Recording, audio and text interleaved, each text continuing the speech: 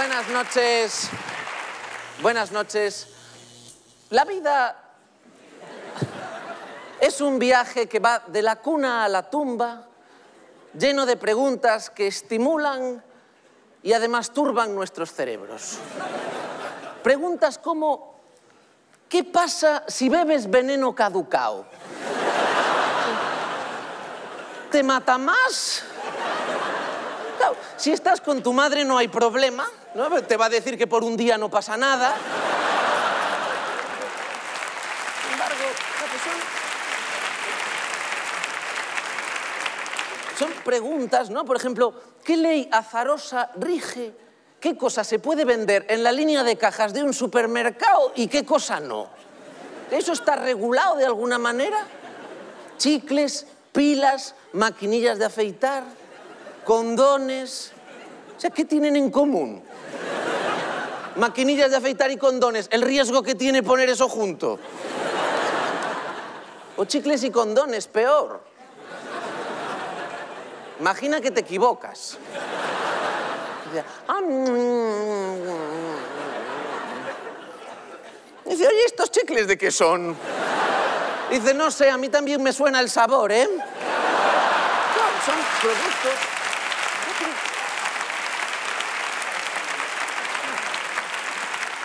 Productos que hay ahí como las gominolas, estos ositos de gominola de esta marca, ¿cómo se llama? Eh, Haribo, Haribo, no se sabe, no, no, no se sabe. Antes sí, antes había un anuncio que lo decían, ¿no? Salían unos oseznos saltando en una campiña infográfica y sonaba una voz como de seductor latino que decía... Ositos de gominola de Haribo.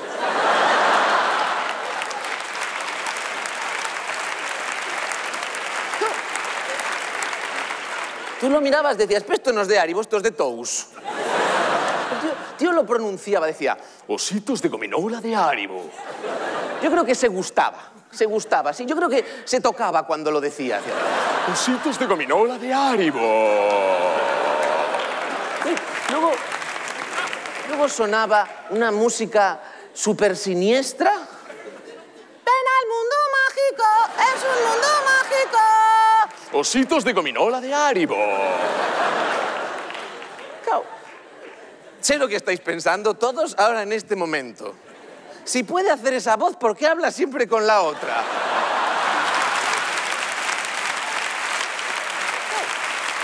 Como que-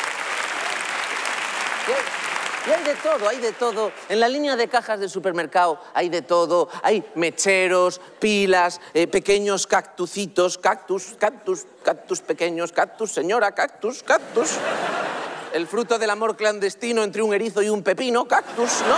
Entonces, no, cactucitos pequeños, eh, plantas de interior, en la, línea de cajas del supermercado, allí, que yo las veo y me asalta una pregunta.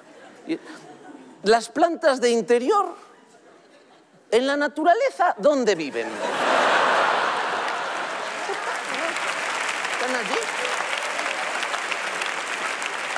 Están allí al lado de las pilas, pilas que no sepa que hay pilas en la línea de cajas del supermercado. Nadie baja allí a comprar pilas jamás, nunca. Nunca, porque cuando se acaban las pilas, tú estás en tu casa, escuchando tu Goldman lleno de felicidad. Vaya flashback, ¿eh? ¿Os acordáis de los Wallman? Había dos clases de Wallman, los buenos y los malos. El tuyo era uno de esos dos tipos y solo había una manera de saberlo.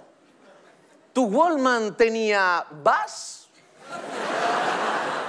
Que hay gente aquí que está diciendo, ¿qué es el bass? ¿Qué es el bass? El bass era un botón que tú le das y suena exactamente igual. Y los, Los Wallman buenos tenían bass, los malos no tenían bass, ni botón de rebobinar. Que habrá ahora hijos del MTP3 por ahí diciendo, ¿qué? Y si no te, ¿Cómo que no tenía botón de rebobinar? ¿Y si te gustaba la canción que hacías? Esto, esto consistía en introducir un bolígrafo Bic o lápiz Faber-Castell en uno de los ojitos u ojetes de la casete y girar, ¿eh? como si fuera una carraca. No lo hagáis con un CD que no funciona, ¿eh? pero girar como si fuera una carraca, calculando el punto justo donde creías que se iniciaba la canción. Entonces lo dices a los jóvenes de hoy en día, te dicen, no hay canción que merezca ese esfuerzo. Cuando,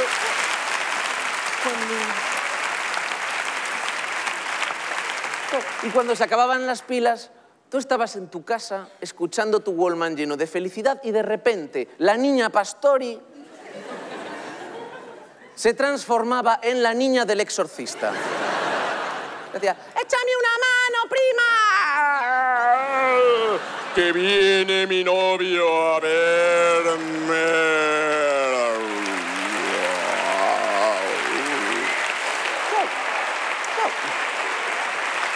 había hay de todo, había chicles, pilas, maquinillas de afeitar. Parece que se puede vender todo en la línea de cajas de un supermercado, pero no, no es así. No. Un día pasas por delante de la línea de cajas y ves allí una cuajada Danone. Y algo dentro de tu corazón te dice, esto no está a la venta. Esto es de alguien que se ha rajado. No, la pregunta es otra, ahora la pregunta es otra. ¿Cómo se raja alguien de comprar una cuajada Danone? ¿Eh? ¿Qué, ¿Qué cuerda vibra en el alma de una persona que ha entrado decidida, ha entrado allí y dicho, qué hostia, hoy me pillo una cuajada?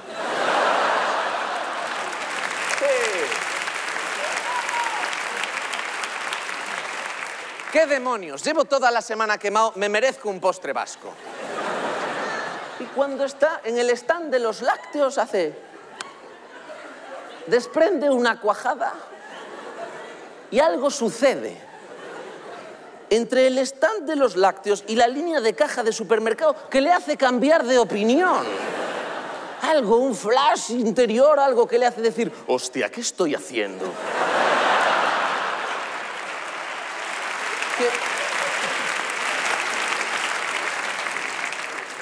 Que si fuera, si fuera un yogur de fresa de trozos, lo entiendo. Pues un yogur de fresa de trozos da como mal rollo. Yogur de fresa, lo ves ahí, rosa con tropezones, se parece demasiado al vómito de Hello Kitty. Da como, da como mal rollo. Pero claro, allí se queda la cuajada, en la línea de cajas, olvidada, lejos de su familia, de ese incompleto tetrapac que ha quedado cercenado, que se ha visto mutilado y que ha quedado allí añorando a su pequeña cuajada que ha emprendido un viaje y se ha visto truncado. ¿Y cómo vuelve la cuajada con los suyos? No vuelve. No vuelve. Decíamos al principio que la vida es un viaje que va de la cuna a la tumba. Y hay un tipo de viaje que no se puede hacer jamás el de regreso. No se puede volver hacia la cuna. La cuajada no puede volver al stand de los lácteos y tiene que granjearse la amistad, improvisar una nueva vida en la línea de cajas del supermercado, haciéndose amiga de productos, por ejemplo, de las pilas, ¿eh? la cuajada, que es tímida, aunque paradójicamente esté hecha de cuajo.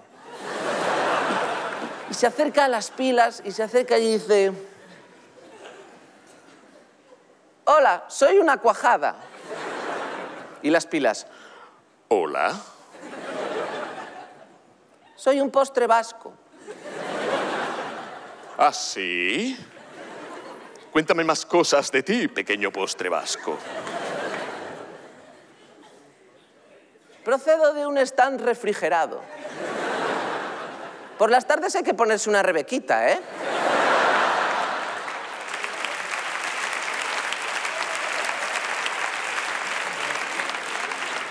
Y las piras, suena interesante, pequeño postre vasco. Cuéntame más cosas de ti, cuéntame cosas de ese lugar del que procedes. Sí. Conozco al Actimel. ¿Sabes que tiene más de 100.000 millones de lecas e inmunitas? Y las pilas, ¡me da igual! ¿Cómo te vas a hacer amiga de las pilas que son bipolares?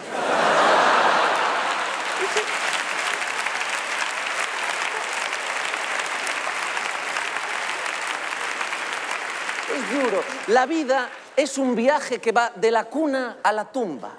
Llegamos con los ojos cerrados y nos vamos con los ojos cerrados. Pero por favor, mientras estemos aquí, mantenedlos abiertos. Muchas gracias. Buenas noches.